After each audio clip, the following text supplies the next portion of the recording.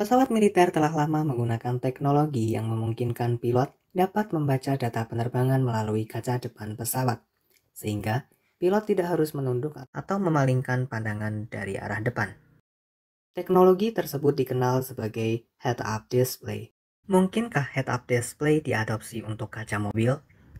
Lantas, bagaimana cara kerja head-up display pada mobil tersebut? Keep your seat. Mari lihat penjelasan melalui video berikut. Head-up display merupakan teknologi yang telah lama diadopsi pada mobil untuk melihat data kendaraan, seperti karakteristik jalan, navigasi, serta fitur pengendaraan mobil, misalnya kelajuan, jarak tempuh, dan petunjuk perjalanan. Head-up display memungkinkan pengemudi tetap fokus menatap ke depan saat ingin mengetahui data kendaraan.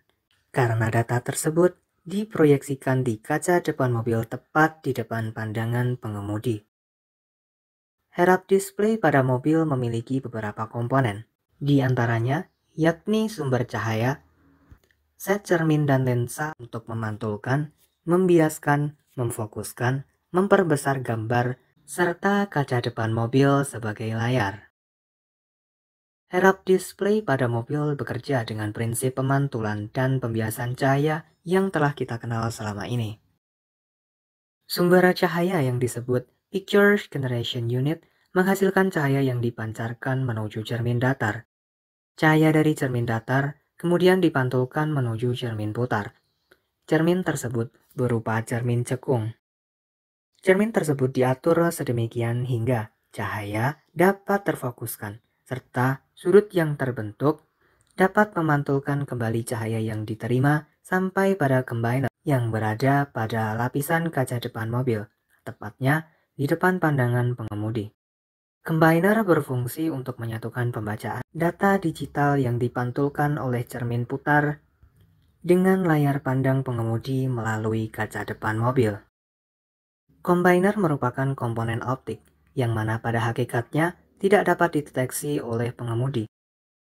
Hal tersebut disebabkan karena combiner meloloskan setiap warna kecuali satu warna yang berasal dari Picture Generation Unit. Combiner bertindak sebagai cermin datar terhadap warna yang berasal dari Picture Generation Unit tersebut, sehingga combiner memantulkan cahaya tersebut. Pantulan cahaya oleh combiner tepat di depan pandangan pengemudi. Oleh karena itu, pengemudi dapat membaca data kendaraan berupa pantulan cahaya tersebut tanpa harus mengalihkan pandangannya. Ketika pandangan pengemudi tidak fokus ke depan, maka data kendaraan yang ditampilkan di kaca depan mobil tidak dapat terlihat sempurna atau bahkan tidak terlihat sama sekali. Hal tersebut disebabkan karena pengaruh sudut penglihatan yang diatur sedemikian rupa pada cermin putar. Dengan demikian, Pandangan pengemudi dapat tetap fokus ke depan selagi membaca data kendaraan yang dikemudikannya.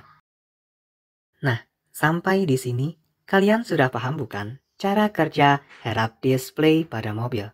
Semoga video ini bermanfaat dan sampai jumpa di video-video kami selanjutnya.